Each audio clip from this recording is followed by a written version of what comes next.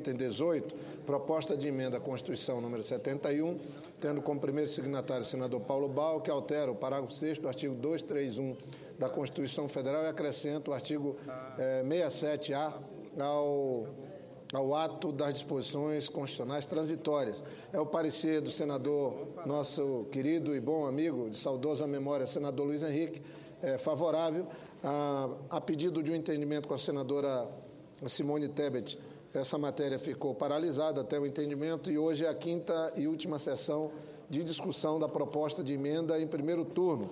E foram apresentadas as emendas de 2 a 5 de plenário, que serão publicadas na forma regimental. A matéria retorna à Comissão de Constituição e Justiça para apreciação das emendas conforme acordo e entendimento. Item proposta de emenda à Constituição número 98 a pedido da senadora Vanessa Graziotin, apresenta como conclusão do relatório parcial número 6 de 2015 a Comissão Temporária de Reforma Política, relator senador Romero Jucá, que acrescenta artigo ao ato das disposições transitórias da Constituição para reservar vagas para cada gênero na Câmara dos Deputados, nas Assembleias Legislativas, na, na Câmara Legislativa do Distrito Federal e na, nas câmaras municipais, nas três legislaturas subsequentes é só para contar prazo. É, é a primeira sessão de discussão dessa proposta, que também é fruto do trabalho, e aí a senadora Fátima Bezerra tem que ver que já está aqui contando prazo. É que há um pouco de ansiedade, mas a gente vai. Está contando primeira sessão de prazo de discussão da proposta que veio da Comissão de Reforma Política, o item número 6, que trata das cotas de gênero para as três legislaturas seguintes, que deverá gerar um debate e certamente receberá a atenção do plenário.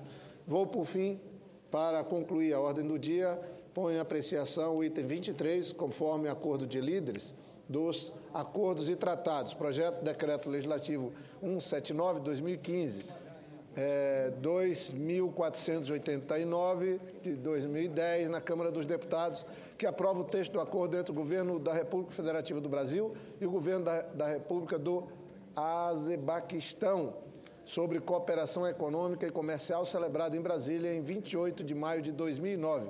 Parecer favorável sobre o número 438/2015 da Comissão de Relações Exteriores, senador Adoc Antônio Anastasia, em discussão projeto em turno único. Para, como não há oradores inscritos, encerrada a discussão, em votação uh, as senhoras e senhores senadores que eu aprovo permaneçam como se encontram.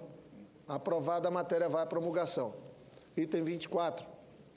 Projeto Decreto Legislativo 206 de 2015, 319/2007 da Câmara dos Deputados, que aprova o texto de acordo de cooperação técnica entre o governo da República Federativa do Brasil e o governo da República do Zimbábue, assinado no Rio de Janeiro em 10 de setembro de 2006.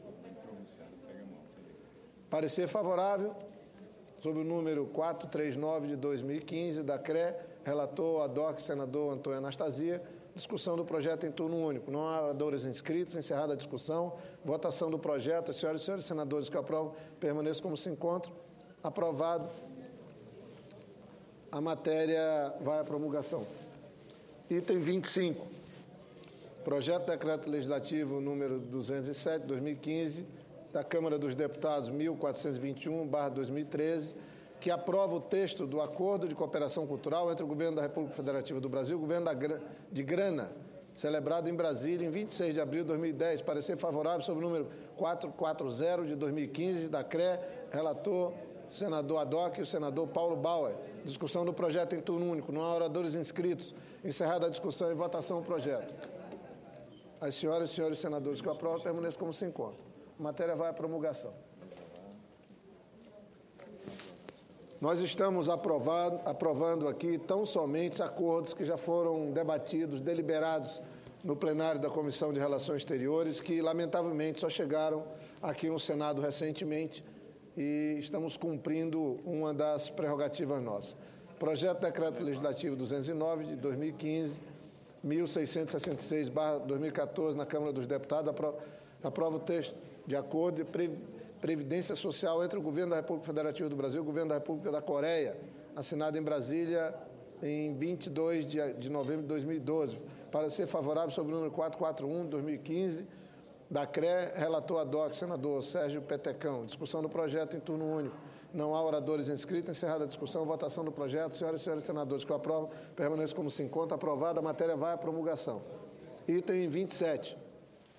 Projeto de Decreto Legislativo número 216 de 2015, 1360/2013 na Câmara dos Deputados, que aprova o texto do Memorando de Entendimento entre o Governo da República Federativa do Brasil e o Governo da República da Argentina sobre a cooperação na área de bioenergia, incluindo biocombustíveis, celebrado em Buenos Aires, 31 de janeiro de 2011.